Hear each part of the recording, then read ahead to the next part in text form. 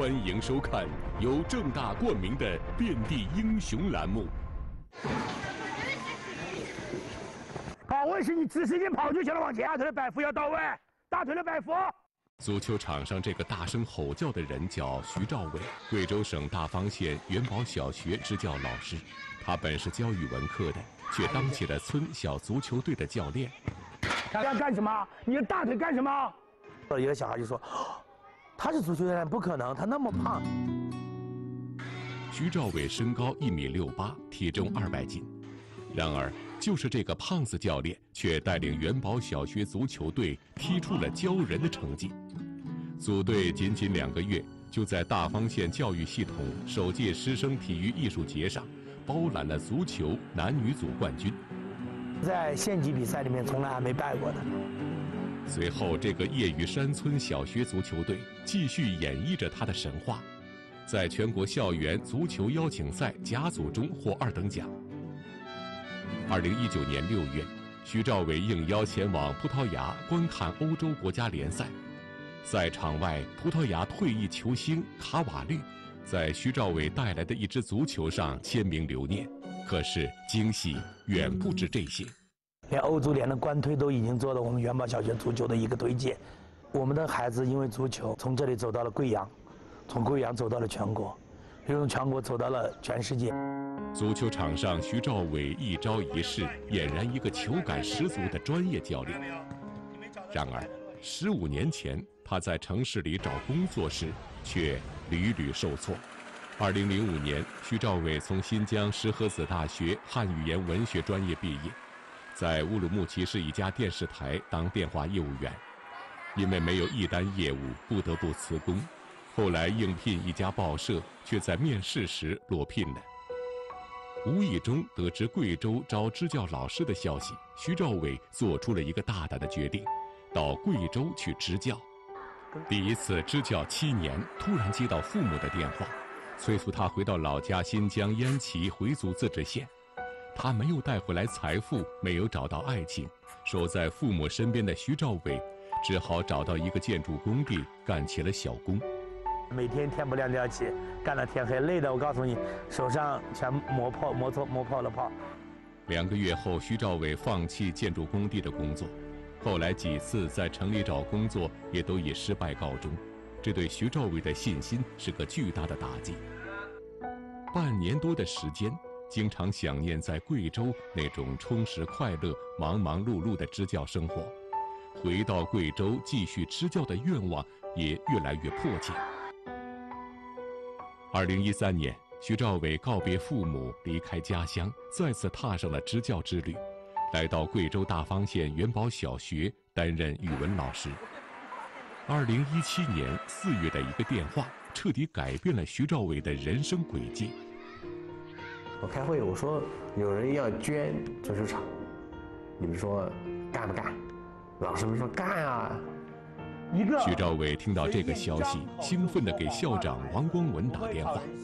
他说：“哎，老王，我们把足球队建起来了。”我说：“好啊。”从读高中开始，徐兆伟一直就梦想自己能在足球场上踢足球。我从九七年总喜欢国米，总喜欢罗伯特巴乔，就喜欢罗纳尔多，是开始的。喜欢足球，足球的那股精气神儿。因为体型胖，直到上大学，徐兆伟也没能实现自己踢球的愿望。现在终于有了这样一个机会。没想有一天我终于有我自己的足球场和我的球队，而且我还能做教练。历尽千辛万苦，足球场建好了，两支各十五人的男足和女足在元宝小学也组建起来。第二个训练，王佳悦今年十三岁，六年级。加入足球队后，王佳悦踢前锋。足球场上，王佳悦个头是最小的，但却是场上最拼的那一个。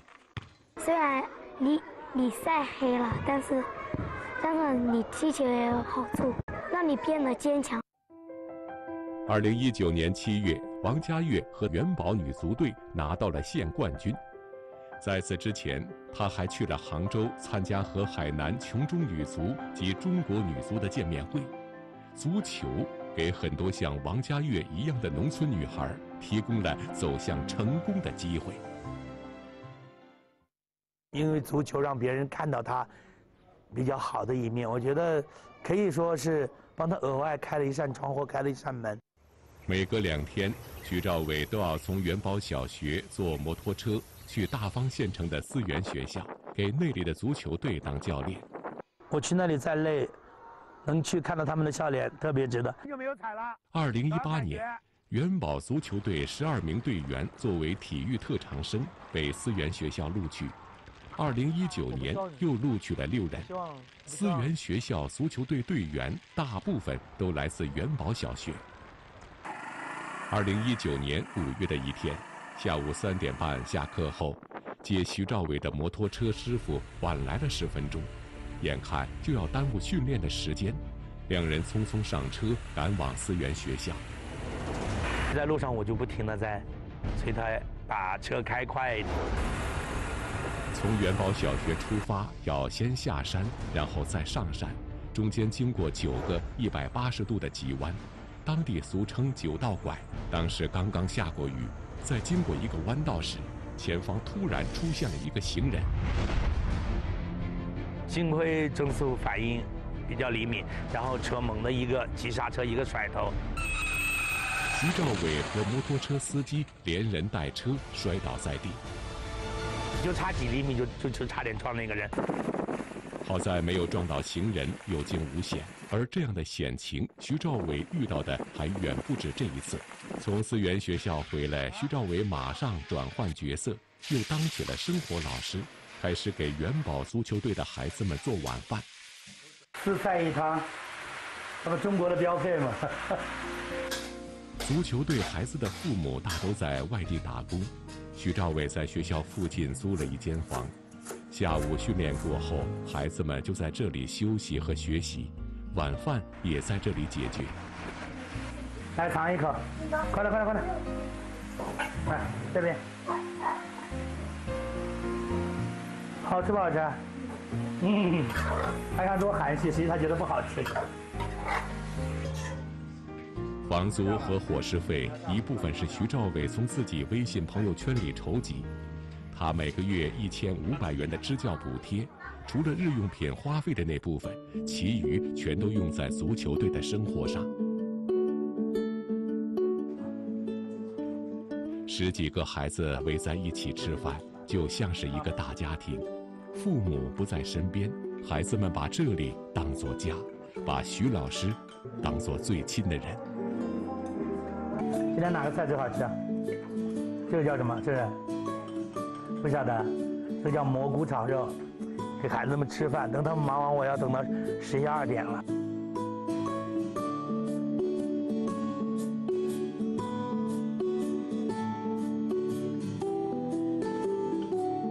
男生宿舍，这个床你看，刚出来的时候孩子们都不懂事，弄得一团糟。现在起码他们能。初步的叠个大致比较整齐。嗯，这里就这里就是女女生宿舍。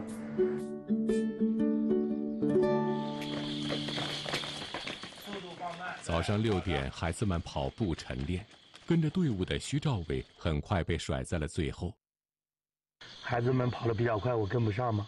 在村口的山坡上，徐兆伟等待孩子们跑步回来。一个人的时候，打开手机。音乐的旋律回荡在清晨宁静的山谷中，此时的徐兆伟终于抑制不住自己的眼泪。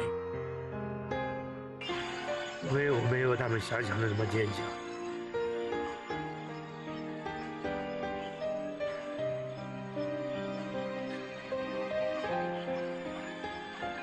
这么多年，我也只是脆弱的一个人。不是他们需要我，而是而是而是我需要他们。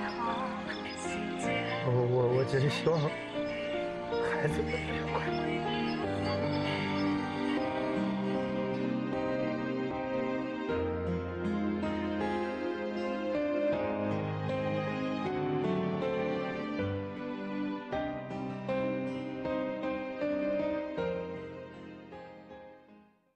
今天中午的这场训练，球场上徐兆伟一直没有出现。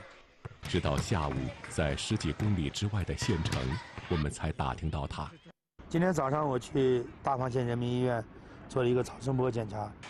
原来连续几天高强度训练，加上照顾孩子们，徐兆伟突然感到身体有些异常。早上到医院做体检，显示胆囊有炎症。徐兆伟悬着的心这才终于落下。为了足球队的孩子们操劳过度，徐兆伟一直没能抽出时间去看病。这时候，假如这个两个柱子、两个桌、两个桶标志桶是对方的防守队员，这时候他能不能直线往前跑了？肯定不能跑了。我们来演示一遍，我只要连贯性传给我，我就传给你了，明白没有？传，好，听到没有？哎，走了。基本功的训多动作都是要给他们做示范的，是要做的，包括带球，包括传球。对于一个村小足球队来说，先天条件不足，只能在训练上比别人更加刻苦。早上呢，稍微练个小体能，跑跑步啊；中午的时候技战术的训练，就下午的时候，现在就纯是纯比赛，以赛代练。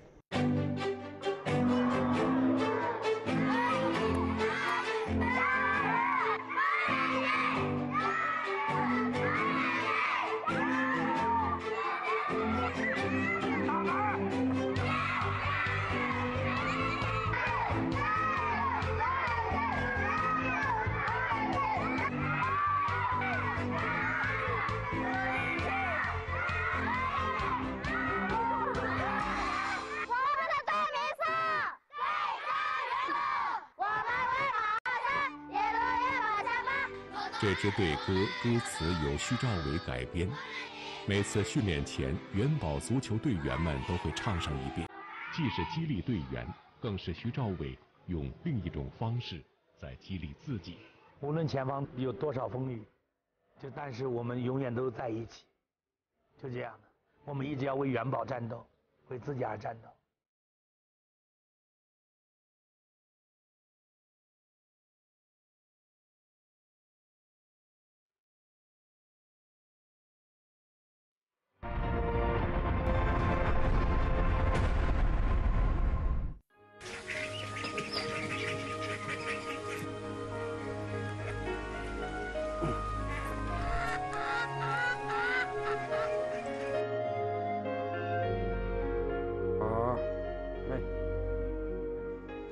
梁一元，人称候鸟医生，广东省连江市安浦镇人。二零零七年，自己租地建起桃花岛候鸟保护区，远近闻名的候鸟医院。这里位于北部湾入海口，每年秋季，从西伯利亚迁徙的数以万计的候鸟必经之地，也是它们停留觅食的家园。十三年间。梁一元为无数受伤的候鸟挽回生命，放归大自然。这一望无际的绿洲已然成为候鸟的天堂。坚持下去，我自己做公益的绝对不后悔。说起如何与候鸟结缘，还得从梁一元下岗说起。十三年前，由于陶瓷工厂经营困难，梁一元不得不离开工作岗位，回家自谋生路。天性倾心于花草树木的梁一元，大胆地将手里仅存的一点资金，承包了六十亩旧村场，经营起了苗木园，既能亲近绿色植物，又能挣一份收入养家糊口，两全其美。栽下梧桐树，引得凤凰来。突然有一天，梁一元发现，偌大的苗木园里来了不速之客。无意中发现有。叫的那个声音不一样，和咱这里附近的鸟不一样。啊，原来一看，哦，白鹤来了，来了，来了十几颗。蝶恋花，鸟爱林，无心插柳的梁一元却被这鸟叫声着迷。看着站立的白鹤，通体白色的羽毛，飞翔远去的婀娜姿态，梁一元恋恋不舍地眺望着。就在这一夜，梁一元决定要为候鸟建一个家，将承包的六十亩地打造成候鸟保护区。因为我保护了以后，慢慢慢慢还吸引多的候鸟，那么我这里呢，人家来观鸟，从这方面我都把我那个呃，花木也带出去。而打造候鸟保护区并不会带来更多的收入，妻子马艳芬坚决反对。儿子他小，要学上学，呃，老爸老妈要照顾，我哪有心情跟你去看那么候鸟，是不是？但是没生气咯，反对咯，只要是反对没用啊，他不理你，风雨不改，自己来。夫妻俩一度闹到要去离婚。他早上起来买几个馒头，打一瓶水就过来。大年当时的桃花岛没有水，也没有电到啊。爱护候鸟的意识如此强烈，也源于儿时的经历。父亲就是个执着的护鸟人，小时候经常看到父亲救治受伤的鸟，在父亲的手里，受伤的鸟每次都能奇迹般的康复，然后父亲再将它们放归大自然。人家抓的那个小鸟，也是骨折的，他的用那个绑带啊、纱布啊扎，那么我看见，也懂得自己怎么怎么用。如今自己有这样一个候鸟栖息场地，还能亲自救治受伤的鸟，也让自己找到了人生的终极目标。按照计划，他先在保护区种植花木，用卖花木的钱支付场地租金。保护候鸟的费用，然后解决家里的日常开支。我搞很多那个苗木，啊花草，那么也过年过节啊，啊镇里面的有人过来买一点，那我有一点生活费。但事情远没有想象的那样顺利，没过多久，自己经营的苗木出现了滞销，资金无法回笼，保护区陷入困境。在梁一元走投无路的时候，父母及时给了梁一元极大的帮助和鼓励。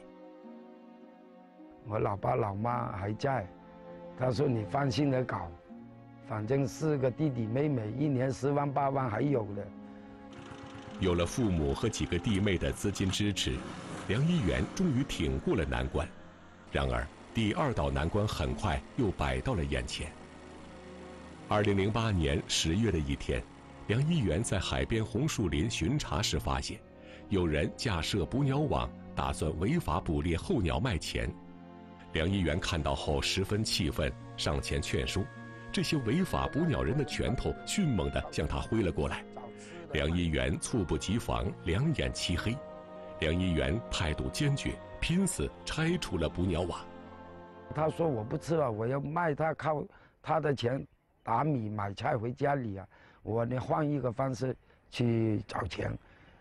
梁一元多次遭到威胁，更为严重的是，这些为了小利不惜玩命的违法捕鸟人，竟然自制土炮，要置人于死地。而梁一元是一个不惧怕威胁的人，他依然看见捕鸟网就拆，见到捕鸟人就驱赶，从来没有停止过。他好像走这条路一定要走到底的那个样子。对那个候鸟的爱好啊，那野生动物的爱好有点疯狂。疯狂的背后是一颗坚定的护鸟之心。渐渐的，护鸟巡查有了明显效果，捕鸟网少了许多。梁一元也因此成为当地的护鸟名人。湛江晚报出来了，知道我是保护这个，国家也支持我。整个海边那边捕鸟那帮人就说：“哎。”以后你不敢弄它了吧？捕鸟那个人，那个那个人，那个群众呢，就一听到那个艺人来的时候，他就跑了。梁一元并没有停下保护候鸟的脚步，他开始了另一项行动：救治受伤的候鸟。一些撞在捕鸟网上的鸟儿被人送到梁一元这里时，有的翅膀和脚已经折断。如何救治？拿两个竹片把它固定。啊，时间长了它会好了。那好了，平平常那个毛掉的、破皮的那个，用红药水、蓝药水，它就这样好。治好两三个小的，自己慢慢要买一点书来看。在日积月累的摸索中，掌握了一套自己独特的候鸟救治方法。我治疗候鸟的法宝，嗯，肠胃炎的，看到消化不行了，嗯，他要拿这个冲水骨折的，得用这个竹片，啊，纱布，啊，这个是中药水，嗯，骨折方面又靠它，乖乖，吃饱饱，等你又回归大自然，放你去找你的伙伴。经过这么多年救治候鸟积累的经验，梁一元现在已经可以通过鸟粪就能判断鸟的情况。这里有一小块，可能是吃了什么东西了，肠胃有了问题了。灰雁，国家二级保护鸟类，本应翱翔蓝天的它，却在梁一元的保护区生活了七年。说起当初自己和这只灰雁的经历，梁一元还存有一些心痛的感觉。二零一三年秋天，连江市林业部门的工作人员在市场巡查时，查获一只受伤的灰雁。当时灰雁翅膀受伤严重，被送到梁一元这里时十分虚弱，已经奄奄一息，站都站不稳了，那个头也低下来了，那两个翅膀有一边都不能动。第一次给灰雁治病，对梁一元是一个不小的挑战。拿那个我们当地呃自人那个呃药水，来用竹片来把那个断的地方夹住。为了能让这个美丽的灰雁活下来，梁一元像照顾孩子一样彻夜守候，全部心思都花在灰雁身上。那天呢，我一直守着它。拿着灯光，就是在前面那个治疗室门口，我怕不行的话，我马上要打电话给林一局。奇迹终于发生，这只柔弱的小灰雁终于慢慢的好了起来。灰雁的伤痊愈后，梁一元尝试把它放飞蓝天，然而每次放飞，灰雁总是飞不了多远，又再次返回。在梁一元的身前背后围绕着，舍不得离开。就这样，七年来，这只灰雁一直不愿离去。你放它，等一下它又跑回来这个地方。虽然梁一元不懂一点鸟语，但他和灰雁却心心相印，有了不舍的感情。十三年来，为了建候鸟保护区，梁一元先后投入超过三十万元。经过他的手，在保护区成功救治后再放飞的候鸟就有数千只。他义务保护候鸟的行动也得到了当地林业部门的肯定，被专门聘为护林员。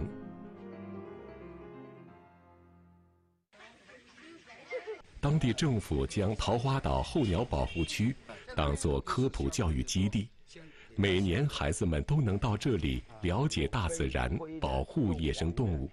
这里的毛呢，它比较松，加鹅的实一点，啊，哎，另外它那个脚，它那个指甲很厉害的，但因为经常抓鱼。二零一九年初，远在广州工作的儿子返回家乡，加入到候鸟保护区，和父亲一起保护候鸟。在家里的话，始终都有父母在。就感觉一家人在一起，我觉得能够看到他们的笑脸的话，就心里很很安心。